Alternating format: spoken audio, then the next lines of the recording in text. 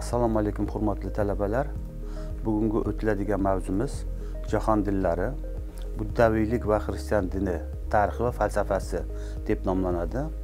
Bu mavzuda biz buddaviylik dinining paydo bo'lishi tarixi asosiy ta'limotlari oqimlari va manbalari. Hozirgi davrda buddaviylikning rivojlanishi kabi mavzularni undan tashqari xristianlikning paydo bo'lishi asosiy yo'nalishlari ta'limotlari va manbalari hozirgi davrda xristian dinining rivojlanishi va dunyo davlatlaridagi o'rni masalalar haqida gaplashamiz. Eng avvalo hmm, buddaviylik dini haqida gaplashadigan bo'lsak buddaviylik dini dunyo dinlari ichida eng qadimgisi hisoblanib eramizdan avvalgi 6-5 asrlarda hindistonda yuzaga kelgan.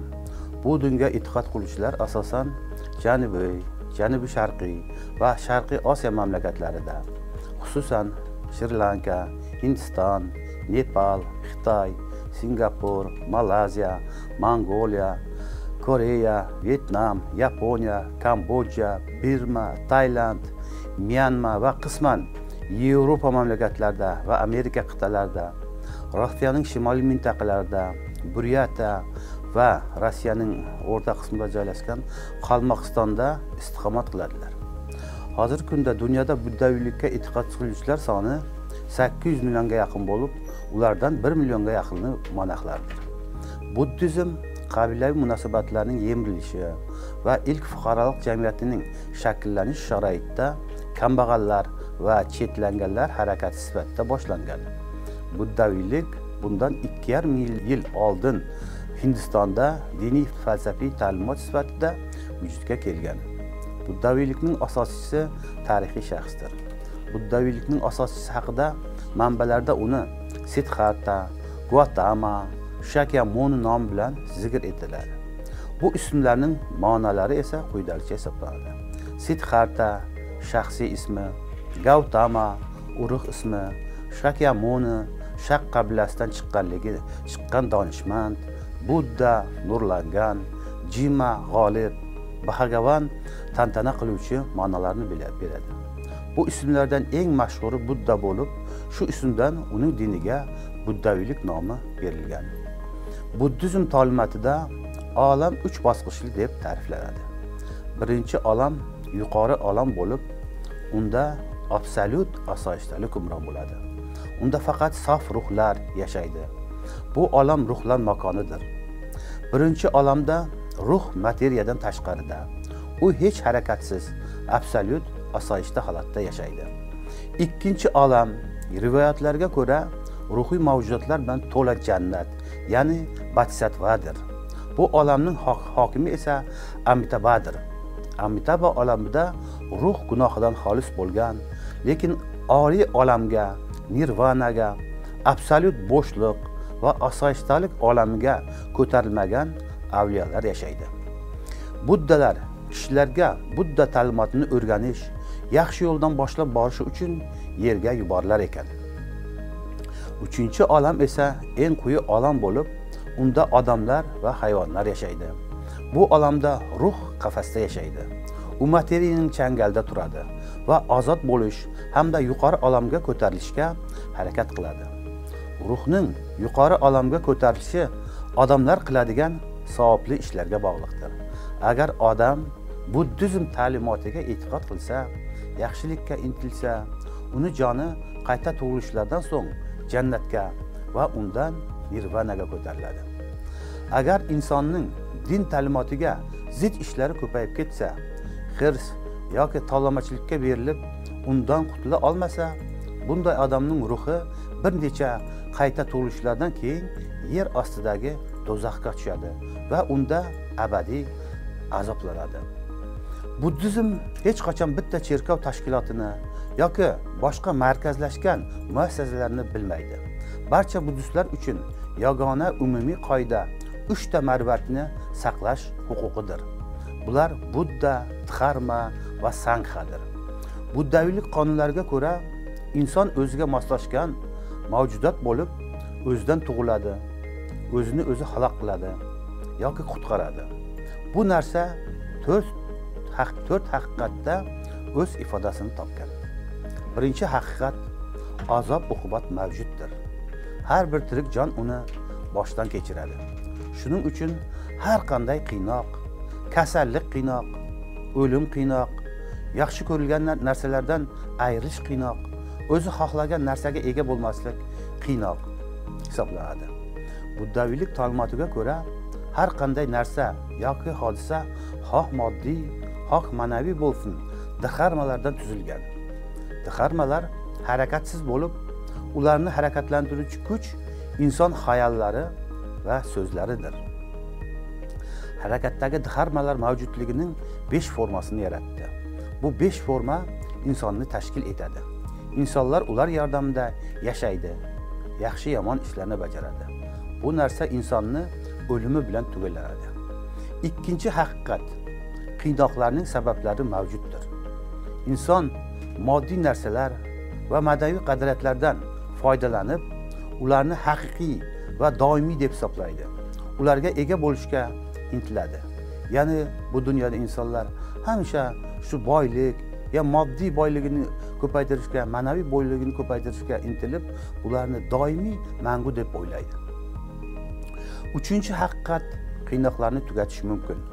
Yaxshi yoki yomon niyatlar intilishlardan butunlay uzilish nirvana holatiga to'g'ri keladi. Bu holat men degan fikrdan ajralib insonning shaxsiy tuyg'ularini to'la tugatilishidir to'rtinchi haqiqat qiynoqlardan qutulish yo'li mavjuddir. Bu yo'l quyida bayon etilgan uch narsaga amal qilishdir. Bu yo'ldan borgan inson budda yo'lini tutadi. Buddaviylik ta'limoti asosan uch amaliy qismdan iborat. Birinchisi meditatsiya ikkinchisi axloq qoidalari uchinchisi donalik. Ya'ni meditatsiyaga to'g'ri tushunish to'g'ri niyat qilish to'g'ri o'zini tutish to'g'ri anglash to'g'ri harakat qilish to'g'ri muomalada bo'lish to'g'ri fikr yuritish to'g'ri gapirish kabilar kiradi. Axloq normalariga esa budda bancha shila nasihati deb ataladi. Ya'ni bunda qotillikdan saqlanish o'g'rilikdan saqlanish gumrohlikdan saqlanish yolg'on qalbaki narsalardan saqlanish mast qiluvchi narsalardan saqlanish tushdan keyin ovqatlanishdan saqlanish o'yin kulgidan saqlanish zebu ziynat atir upalardan saqlanish. Uchinchisi donishmandlik. Bu buddaviylikning asosiy maqsadi bo'lib narsalar tabiatini to'g'ri tutishi hisoblanadi.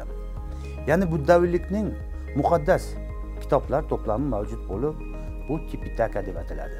Tipitaka ya'ni bu uch savat deb nomlanadi. Yoki pali kanoni teravada buddizmni ta'limotining asosini tashkil etuvchi pali tilidagi eng qadimgi matnlar to'plamidir. Qadimgi sharhlar bilan birgalikda ular teravada klassik matnlarning to'liq korpusini tashkil qiladi. Tripataka uch qismdan iborat. Ya'ni birinchi qism vinaya pitaka. Sangha kundalik hayotidagi xulq atvor qoidalarga oid matnlar to'plami. Bikhushlar jamoasi hisoblanadi. Ya'ni tayinlangan rohiblar jamoasidir. Ikkinchi hamma pitaka. Sutta pitakada keltirilgan ta'limotlarning asosiy tamoyillari qayta ishlangan va ong va materiyaning tabiatini o'rganish uchun ishlatilishi mumkin bo'lgan tizimga tashkil etilgan matnlar to'plamidir. Uchinchisi sutta pitaka. Teravada buddizmining barcha asosiy ta'limotlarini o'z ichiga olgan budda va uning bir qancha eng yaqin shogirdlariga tegishli sutralar to'plamidir. Endi undan tashqari davlat dillari ichida dunyo dillari ichida hozirgi davrda eng ko'p o'zining e'tiqodchilari nuqtai nazaridan eng ko'p bo'lgan eng katta din hisoblangan xristianlik dini haqida umumiy tushunchalarga ega bo'lishga harakat qilamiz. Xristianlik eramizning boshida rim imperiyasining sharqi qismida. Hozirgi falastin va isroil yerlarida vujudga kelgan. Bibliyaning xabar berishicha iso masih xristianlik ta'limotining asoschisi hisoblanadi. Eramizning boshlarida yahudiylar hokimiyati uch tomondan og'ir tushkunlikni boshdan kechirar edi. Bir tomondan rim imperatori ikkinchi tomondan falastin podshohi irod antika uchinchi tomondan esa ruhoniylar xalqni turli soliqlar bilan qiynar edi. Shu davrda yahudiylar o'rtasida kutilayotgan xaloskorning kelishi yaqinlashganligini tarqatuvchilar paydo bo'ldi. Shu paytda iso masih yahudiylikni isloh qilish va uni turli xurofatlardan tozalash g'oyasi bilan chiqib xristian diniga asos soldi. Turli ayb qo'yib isoni o'ttiz uch yoshida fitnachilikda ayblab qatl etishga hukm qildilar. Xristianlikda ota xudo o'g'il xudo va muqaddas ruh uch yuzlik xudo to'g'risida ta'limot ya'ni troitsa mavjud bo'lib jannat va do'zax oxirat oxiratda go'yo dunyoning oxiriga borish isoning qaytishi haqida va boshqa aqidalarni o'z ichiga oladi. Ya'ni yaqin sharqdan hozirgi falastin e, isroil hududidagi mm, xristianlar ilk xristianlar u yerda ularga kun bermaganligi uchun ular rim imperiyasining ichki tomoniga ya'ni g'arbiga qarab siljib hozirgi e, rim shahri hududlariga italiya hududlariga borib joylashib u yerda o'zlarining e, targ'ibot tashviqot ishlarini olib borgandan keyin u yerda ularning e'tiqodchilari soni juda ham ko'payib ketadi. Ya'ni asta sekin xristian dini davlat mafkurasiga aylana boradi uch yuz yigirma to'rtinchi yili xristianlik rim imperiyasida davlat dini deb e'lon qilinadi uch yuz yigirma beshinchi yil birinchi martda rim imperatori litseniya rim imperiyasi hududidagi xristian jamoalarini o'zaro kelishtirish va tartibga solish maqsadida nikey shahrida birinchi butun olam xristian soborini chaqiradi unda xristian dinining qonun qoidalari ishlab chiqildi. Va xudo uch shaxsning ota xudo o'g'il xudo ruh xudo birgalikda ifodalanishi lozim deb topildi. Ya'ni troitsa. uch yuz sakson birinchi yili konstantinopolda ya'ni hozirgi davrdagi turkiyadagi istanbul shahri. Konstantinopolda ikkinchi butun olam xristian sobori bo'lib o'tdi. Unda cho'qinish va tirilish haqidagi yangi aqida qabul qilindi. Ya'ni mm, xristian dini e, uchta katta oqimlarga bo'linib ketgan. Ya'ni e, katolik katolitsizm pravoslik pravoslaviya va protestantizm. Ana ushlarni ichida endi pravoslavliklar haqida gaplashamiz. Pravoslavlar ya'ni ruscha chin e'tiqod ma'nosini bildiradi. Bir ming ellik to'rtinchi yildagi bo'linish natijasida shakllangan. Asosan sharqiy yevropa va yaqin sharq bolqon mamlakatlarida keng tarqalgan bo'lib uning e'tiqodchilar soni ikki yuz ellik million kishiga yaqin hisoblanadi. Ya'ni hozirgi davrda e, mana shu sharqiy yevropa davlatlaridagi e, rus ukrain bolgar bolgar boltiqbo'yi mamlakatlari va boshqa bir qancha slavyan mamlakatlari greklar mana shu pravislav pravoslav yo'nalishiga e'tiqod qilishadi. Pravoslavlik diniy ta'limot muqaddas yozuv injil va muqaddas rivoyatlarga asoslangan. Muqaddas uchlik xudoning bir vaqtning o'zida ham yagona ham uch xil ko'rinishi ota xudo o'g'il xudo va muqaddas ruhda namoyon bo'ladi deb ishonish insonni tug'ma gunohkor deb bilish isoning inson qiyofasiga kirib o'z ummatlarini gunohdan xalos etish uchun o'zini qurbon qilganini tan olish oxiratga va unda qayta tirilishga e'tiqod qilish cherkovni xudo va odamlar o'rtasidagi vositachi ekaniga ishonish pravoslavlik diniy ta'limotining asosini tashkil etadi. Pravoslaviyada yangi tug'ilgan bola cho'qintirilayotganda suvga botirib olinadi.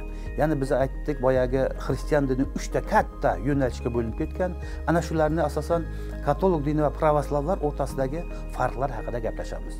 Ya'ni pravoslaviyada eng avvalo yangi tug'ilgan bola cho'qintirilayotganda suvga botirib olinadi. Undan tashqari muqaddas moy surtish cho'qintirishdan so'ng ketma ket mahalliy ruhoniy tomonidan bajariladi. Oddiy insonlar va ruhoniylar bir xil kvasli non va vino bilan totinadilar nikoh marosimi cherkovda ruhoniy tomonidan o'tkaziladi. Er xotin faqatgina xiyonat sababli ajralishi mumkin. Nikohni cherkov bekor qila oladi. Xristianlikni boshqa konfessiyalardan farqli ravishda qora va oq ruhoniylar farqlanadi. Qora ruhoniylarda uylanmaslik amaliyoti mavjuddir. Tavba marosimida katolikdan farqli ravishda tavba qiluvchilar yuzma yuz bir biri bilan o'tirishadi. Ibodat marosimi mahalliy tilda olib boriladi. Endi katolik cherkovining o'ziga xos e, urf odat marosimlari haqida gaplashamiz.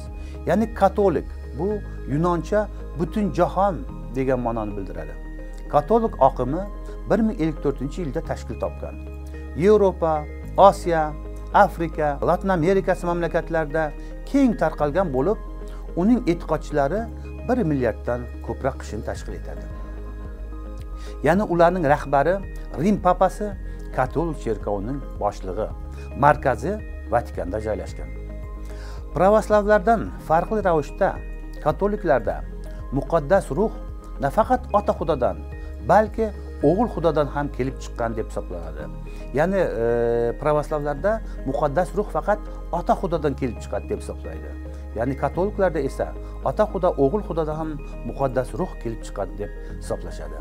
Undan tashqari iso va uning havoriylari bibi maryam hamda avliyolar amallarini qamrab olgan xayrli va savoblilar xazinasi mavjud va ushbu xazina hisobidan cherkov gunohkorlarning gunohidan o'tish imkoniyatiga ega deb hisoblanadi. Undan tashqari arof ya'ni do'zax va jannat oralig'idagi joy haqidagi ta'limot mavjud. Unga ko'ra gunohi katta bo'lmagan gunohkorlarning ruhi u yerda o'tda kuyadi keyin jannatga yo'l topadi. Undan tashqari bibi maryam ham iso kabi annaning ya'ni maryamning onasi anna. Annaning ifati saqlangan holda muqaddas ruhdan homilador bo'lish orqali dunyoga kelgan deb hisoblanadi. Ya'ni pravoslavlikda esa faqatgina bibi maryamgina muqaddas ruh orqali e, dunyoga kelgan deyiladi. Katoliklarda esa uning onasi anna ham muqaddas ruh orqali dunyoga kelgan deb hisoblashadi.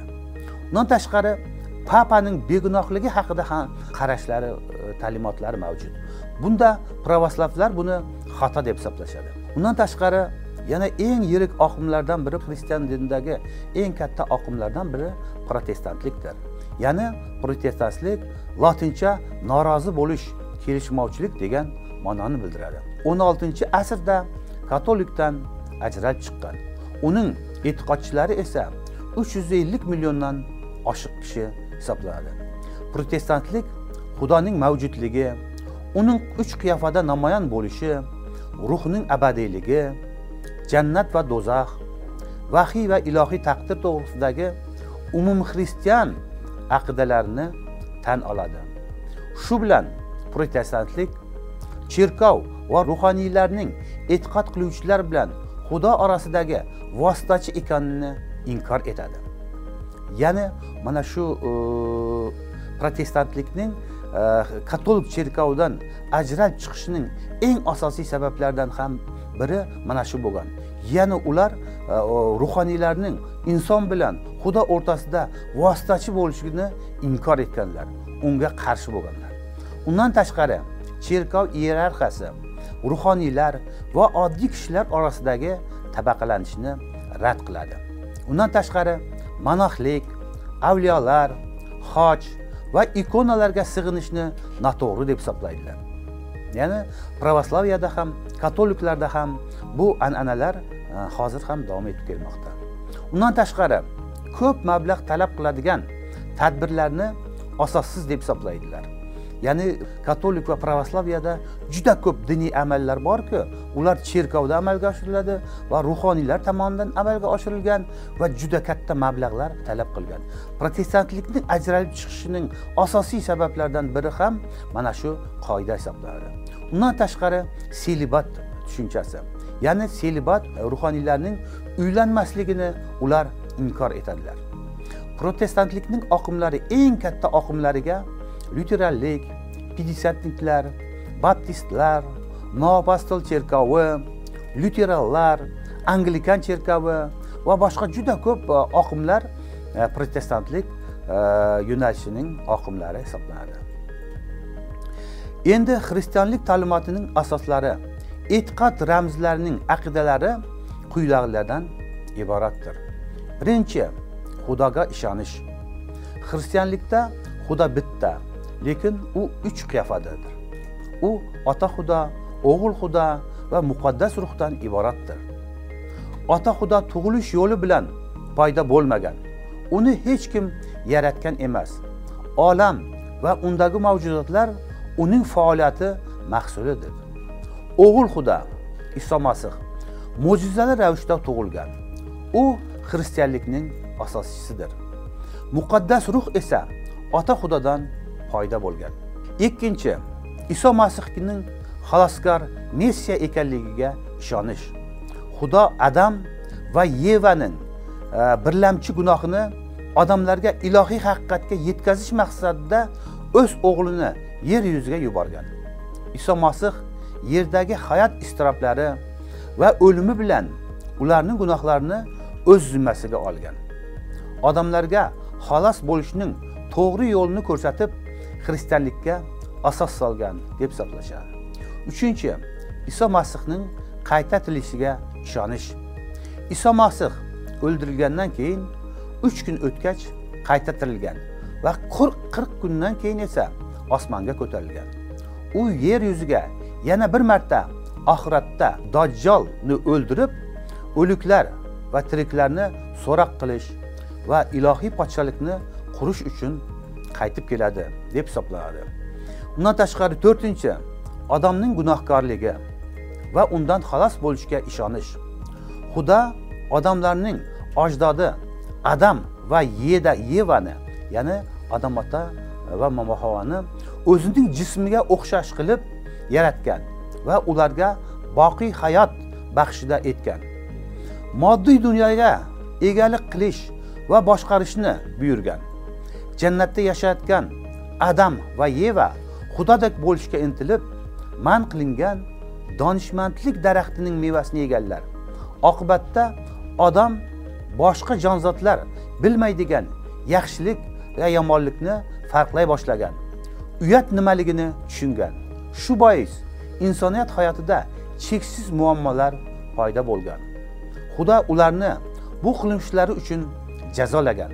Birinchidan odamlar yalpi gunohkorlikka mahkum qilinganlar. Ikkinchidan boqiy hayot imtiyozi bekor qilingan. Xristianlikda birlamchi gunoh oqibatlaridan qutulish yo'llari ham ko'rsatib berilgan. Bu ish bir necha bosqichdan iborat. Birinchi bosqichda iso masih yerga kelib yerdagi iztiroblari va o'limi bilan birlamchi gunohni o'z zimmasiga olgan. Ikkinchi bosqichda esa iso masih yerga oxiratda yana qaytib keladi. Antixristni yengib abadiy hayot baxt saodat hukmron bo'lgan ilohiy podshohlikni vujudga keltiradi deydi hisoblashadi. Beshinchidan jannat va do'zaxga ishonish. Jannat va do'zax odamlarning o'lgandan keyin yerdagi xulq atvoriga ko'ra ruhlari oxiratgacha turadigan joy. Oltinchi oxiratga ishonish. Xristian ta'limotiga binoan oxirat boshlanishidan oldin yerga antixrist keladi va qiyomat qoyim boshlanadi. Oxir oqibatda esa iso masih yerga qaytib kelib antixristni yengadi. O'lganlar qayta tiriladi. Tiriklar va o'lganlar qaytib ajrim qilinadi. Yangi hayot boshlanib ketadi. Yettinchi axloq qoidalarining diniy ta'limotdagi katta ahamiyati.